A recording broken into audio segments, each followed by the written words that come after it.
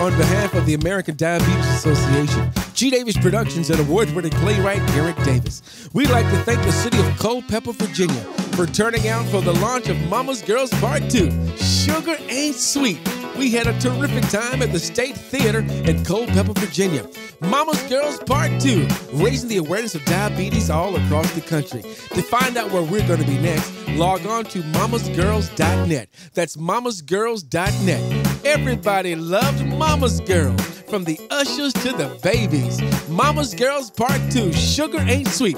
On behalf of the American Diabetes Association, G. Productions, and award winning playwright Garrett Davis, we'd like to thank the city of Culpeper, Virginia, for launching Mama's Girls. We're coming to a city near you. For more information, log on to mamasgirls.net. To find out more about diabetes, log on to diabetes.org. The American Diabetes Association to prevent and cure diabetes and to improve the lives of all people affected by diabetes. It's Mama's Girls Part 2 Sugar Ain't Sweet. Be on the lookout because we're coming to a city near you. These five sisters are off the chain.